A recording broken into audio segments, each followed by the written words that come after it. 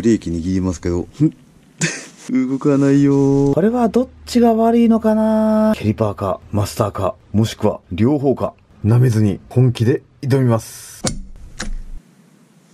カサカサになってる。この中のピストンが固着してるっていうことですよね。え？お？今回ね、試してみたいことがあるんですよ。はい、皆さんおはようございます。DIY ドラッグのテツでございます。はい。鈴木ギャグをレストアして膝すりしたい計画。今回はね、前回お送りしたフロントフォークの作業と同時進行で進めてまいります。今回直すのは、ほい。今回のレストアで第2の山になるかもしれない、これ、ブレーキキャリパーと、こちら、マスターシリンダーでございます。さあ、ブレーキキャリパー及びマスターシリンダーでございます。これがね、苦戦する予感しかしないんですよ。一つ目はこれ、マスターシリンダーのこの点検窓ですね。ボロボロになって割れてしまっておりますが、調べてみたら、これ交換できるらしいので、おそらく、なんとかなるとは思います。そしてこれ、マスターシリンダーのタンクのネジ。お若干舐めかかってますね。これもね、ちゃんと外せないと大変そうなんだ。それとも一つ、このブレーキが大変そうなのは、レバーが全く動かないんですよ。これはどっちが悪いのかな？キャリパーか、マスターか、もしくは、両方か。どっから手をつけたらいいか迷っちゃうところですが、何かしないと作業が始まらないので、現状のチェックをしつつ、外せるものを外していきたいと思います。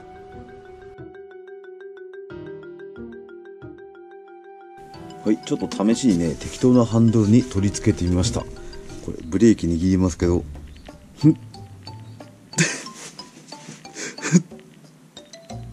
わかります？レバーが、あ、いった。いったけど。動かないよこれは、今の感じからすると、固着してんのこっちですね。マスターシリンダーっぽいなキャリパーがちょっとどうなってるかわかんないんですけど、これ。動かんないこれ。さてと、どうしたものかなこれ点検窓がもう破れてるってことはフルードは入ってないんですよね。となるとどっちみちこれこの形に組んでる必要性がないので分解していきましょうか。はい最初の難関はこれ。マスターシリンダーのタンクのネジでございます。本当にこいつね固着しやすいんですけど舐めたら悲惨なことになるので舐めずに本気で挑みます。またこれ固定がしづらい形してるんですよね。これでちょっと仮ですけどまあ多少はマシかな。そんなわけでいきなり最高戦力を投入します。どうかな？いけるかな？いきますよ。いけるかい？せーの。よし一箇所回った。もう一箇所ねこっちがちょっと舐めかかってるんですよ。だけどこれこれ以外ないんだよな。力は逃げないかな？いきますよ。まず1回目はちょっと軽くショックを与えて。せーの。よしよかった。無事回ってくれましたよ。まず1本目無事両方取りました。ちょっとこれ開くかな？ちょっと、うい、うい、うい、うい。付着してるね。あ、取れた。あ、あ、カサカサになってる。なるほどね。なんとなく状況が飲み込めてきました。フルードが入ってない状態で中が腐食してそしてマスターシリンダーの中のピストンがもう固着してるんですね。なるほど、なるほど。それならこれもう、ガンガンに分解してっちゃっていいかもしれないですね。よいしょ。はい、ブレーキレバー取れまして、これも外しちゃいましょう。よいしょ。いや、ボルトの中もすげえや。うわ、きったな。おほほほほ。いやすごいね。このスイッチどう？お？お？あ？こうやって？あ、こう抜けるんだ。知らんかった。これ一本ずつだったらいける？抜けるね。おおおおお。あ、これで、スイッチも外れまして、これでかなり分解できましたよね。オッケーオッケー。あとは、この固着を取れるかどうか。ですよね。こっちも外れてくれるかなちょっと力が入りづらいですけど。あ、またまたまた。このキャリパーの中がどうなってるかですよね。フルードが少しでも残ってるかもしくはガサガサか。こちらの盤上ボルトも若干錆びております。あ、キャリパーの中フルードっぽいの入ってますね。お、これはちょっと朗報かもしれない。だとするとキャリパーの中は何とか保持できてるかもですね。あれ、これ。ホースの中ってどうなんだろう。これも怪しいな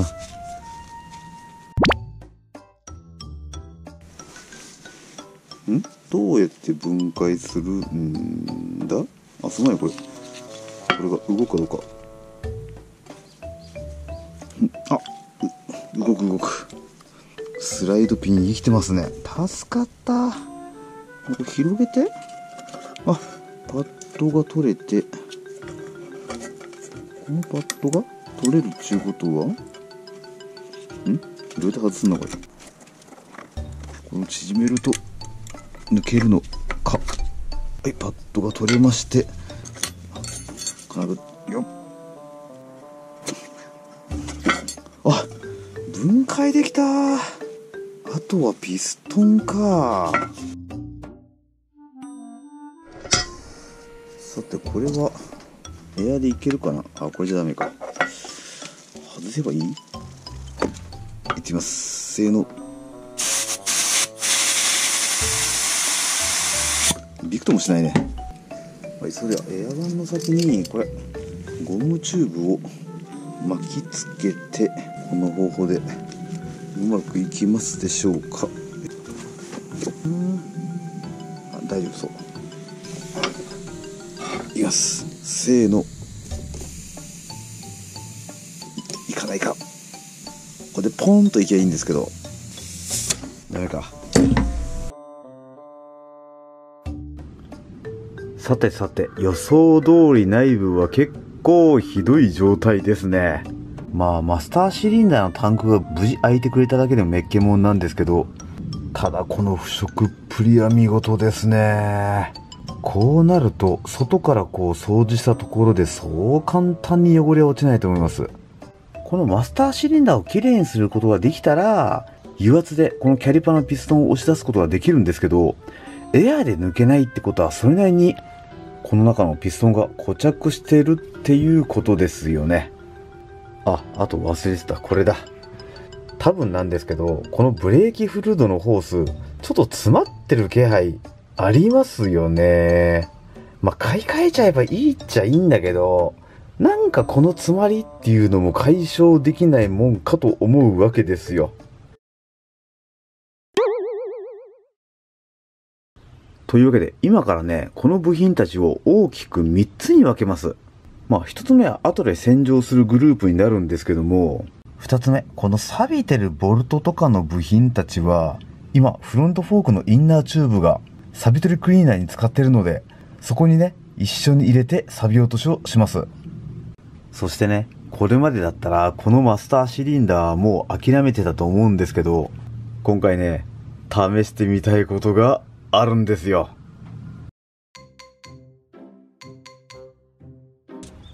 とりあえずこのボルトたちはここにお邪魔いたしますと。はい。というわけで、超音波洗浄機の出番です最近何かと活躍してくれてる超音波洗浄機でございます。水入れまして、そして食器用洗剤でいってみます。このキャリパーがうまくいけるかなこれ入れまして、そして一番期待しているのはこのマスターシリンダーです。どっちから入れた方がいいかなこっち向きかなそれね、この小物も入れちゃいましょう。そしてホースはちょっと厳しいかなこれのね、端っこだけでも使ってくれりゃいいかなと。ちょっと無理ありますけど。はい、それでは、電源スイッチ、押しまして、このマシンの温度設定に期待してるんですよ。まあ、温めれば大概のものは柔らかくなりますからね。これもう、80いってみよう。そしたら、いきますさあ、お願いします。これがね、一回やったぐらいで綺麗になるとは思ってません。固着した部品がね、温度と、そして超音波で、少しでも柔らかくなることを祈りながら、まずは1時間でも2時間でもかけてみたいと思います。さあどうなるでしょうか？期待しよう。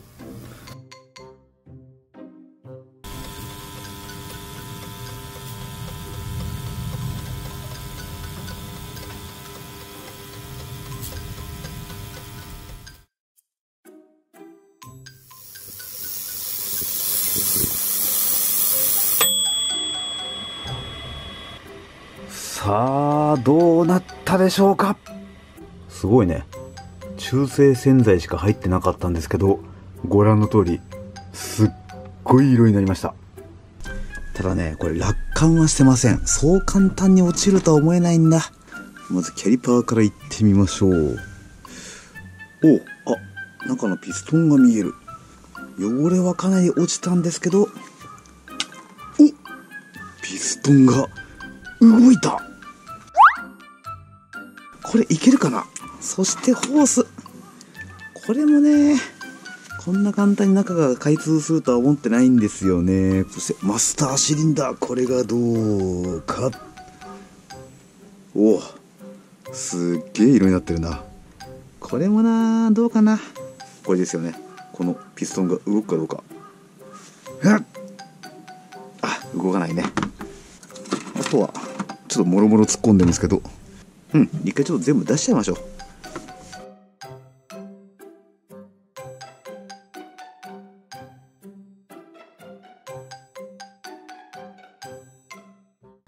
はい、とりあえず超音波洗浄1回目です。なんだかんだね、60度以上の温度でやってみましたがどうなったかと言いますと、まずブレーキパッドがめっちゃ綺麗になってますやん。すっごいね、汚れが落ちておりまして、そしてこっち、マスターシリンダーのカバーなんですけど、いや、綺麗になった綺麗になった。ほら、いいじゃないですか。このバックアップスプリングも綺麗になっております。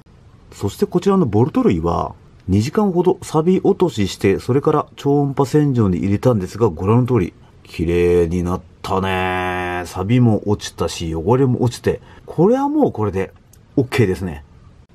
そしてマスターシリンダーですよ。まだ落ちてないですね。なんか色々汚れておりますけど、だけど全体的に見るとかなり綺麗になりましたね。これどうかな？抜けるかな？抜けりゃラッキーなんですけど、抜けるかどうかといえばキャリパーですよ。さっきちょっとピストン動きましたよね。ちょっとこれからもう一回エアーツで抜いてみようかな。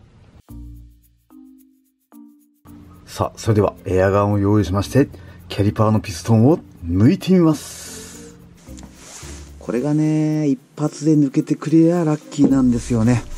それでは、こんな感じにビニールテープを巻きまして、これで漏れずにできるかな？いってみますよ。注意しまして、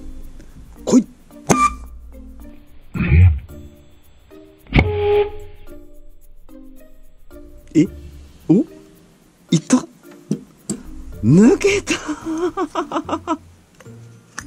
やった抜けてくれたすげえさっき全然抜けなかったですよね。おお超音波洗浄ありがてえ。これ取れるかな？あ、シールも取れまして、どんどんやってみよう。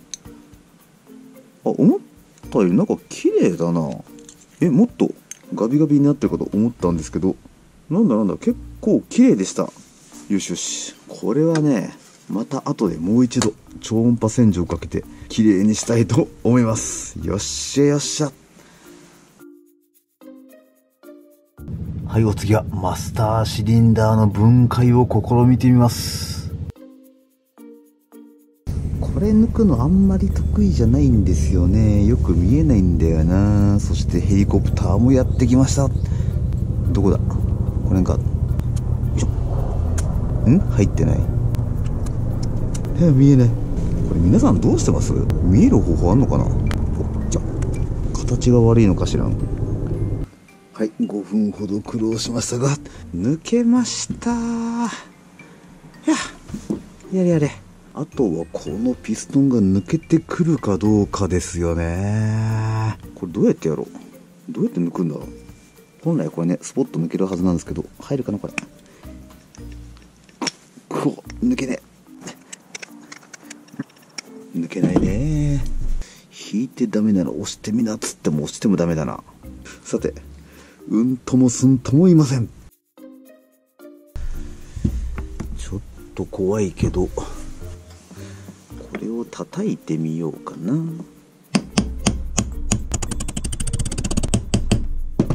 押し込むことはできました。これを引き出す。あ、お、お、お、お、お、シコシコ動くようにはなった。この勢いで抜けてくれ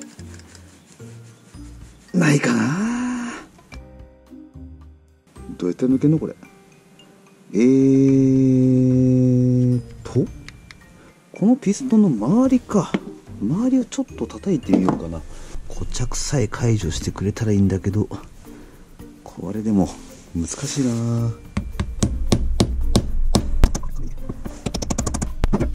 どうか。これでどうだ。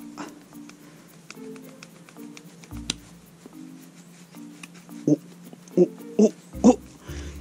いけるか？抜けたってきたな。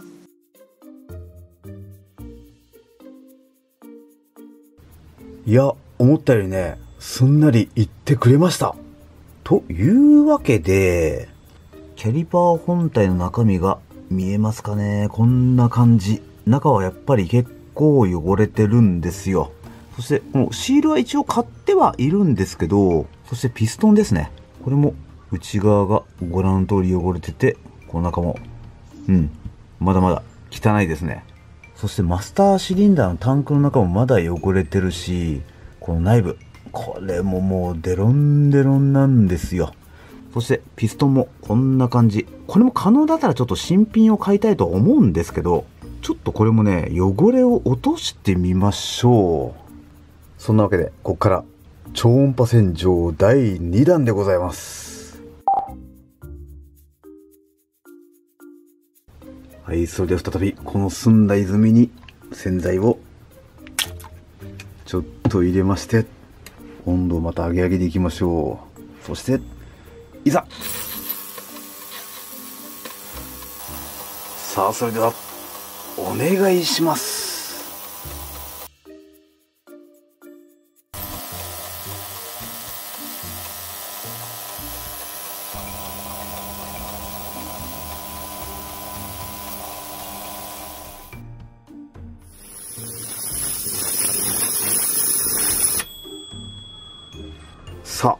どうなったでしょうかと。2回目の洗浄終了でございます。さあどうなったか。よっこいしょい。はいそれでは仕上げだ。一気に洗っていきます。洗っていきます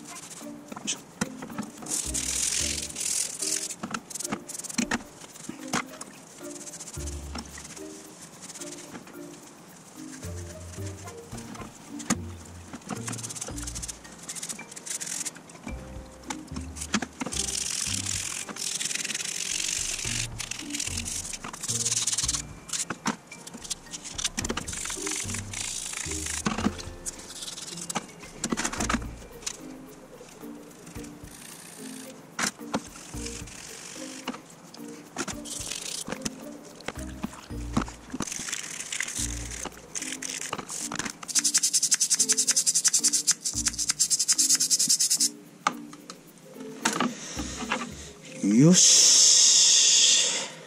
こんなもんでしょうか。